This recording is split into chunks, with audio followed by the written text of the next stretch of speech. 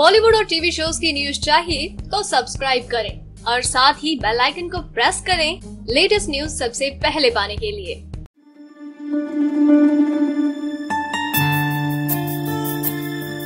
दीपक ठाकुर ने जब से सोमी खान को अपनी दिल की बात बताई है, तब से सोमी खान दीपक के आसपास ही नज़र आती हैं। और एक बार फिर से इन दोनों को एक साथ देखा गया और इस दौरान गार्डन एरिया में पहले तो दीपक ठाकुर ने सोमी खान का मज़ाक उड़ाया और फिर उनसे की प्यार भरी बातें। दरअसल सोमी खान सलमान खान को काफ़ी मिस कर रही थी तो वो सलमान खान की तस्वीर को किस करके जा रही होती है। तो इसी दौरान दीपक ठाकुर उन्हें कहते हैं, सोमी, तुमसे बात करनी है, एक बार आओ तो। वो कहती हैं, ढंग की बात करोगे तो रुकूँगी, नहीं तो मैं चली जाऊँगी। तो कहती है, अरे यार, हमने तुम्हें कभी रोका है क्या? फिर वो कहती है, ठीक है, आ जाओ, यहाँ बैठ जाओ। और फिर सोमी खान गार्डन एरिया में बने कुएँ पर बैठ जाती हैं। और फिर दीपक ठाकुर करते हैं शुरुआत उनकी तारीफों की। एक तो तुम्हारी आँखें इतनी अच्छी हैं बाल भी अच्छे हैं तो सोमी खान कहती हैं, हो गए ये बकवास। फटाफट बोलो। दीपक कहते हैं यार पूरी बात तो सुन लो। हाँ ठीक है बोलो दीपक कहते हैं, आपका चाल चलन बहुत अच्छा है। सोमी खान कहती हैं अच्छा चाल चलन अच्छा है मेरा। तो दीपक कहते हैं हाँ मतलब ये कि आपका नेचर बड़ा ही सॉलिड है। बड़ी ही केयरिंग है। और सोमी खान इस दौरान उन्हें कहती हैं, शुक्रिया। दीपक कहते हैं, और सबसे बड़ी बात ये कि आप स्ट्रेट फॉरवर्ड हो।